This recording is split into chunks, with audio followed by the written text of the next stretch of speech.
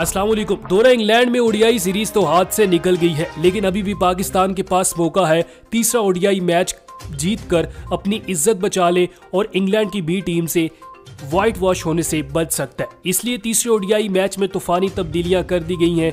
पूरी playing eleven का ऐलान कर दिया गया है कि कौन से 11 खिलाड़ी खेलेंगे तीसरे और आखिरी ओडियाई मैच में। तो चलिए आपको मुकम्मल डिटेल से बताते हैं। लेकिन उससे पहले आपने अभी तक इस वीडियो को लाइक नहीं किया तो जल्दी से लाइक कर दें। चैनल को सब्सक्राइब करें और बेल आइकन पर प्रेस करें ताकि मजीद वीडियोज़ आपको मिलती रहें।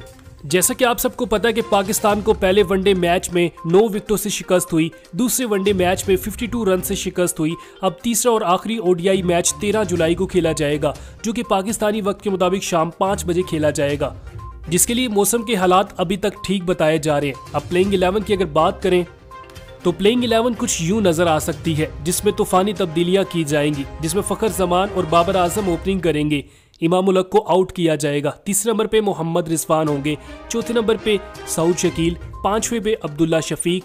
छठे पे सरफराज अहमद को भी शामिल किया जाएगा। उसके बाद स्पिनर में मोहम्मद नवाज़ या उस्मान कादिर किसी एक को खिलाया जाएगा। दोनों भी खेल सकते हैं, अगर हारिस रऊफ को ना खिलाया जाए। उसके बाद हारिस रऊफ, मोहम्मद असनैन शहीन शाफरीदी और हसन अली शामिल होंगे।